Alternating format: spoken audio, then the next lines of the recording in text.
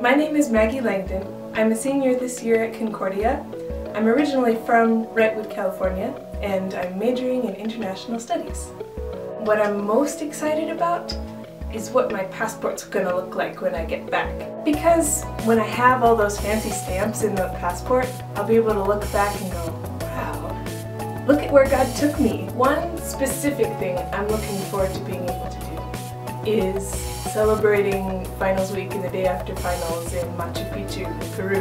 I'm most nervous about doing door-to-door -door evangelism in Ethiopia.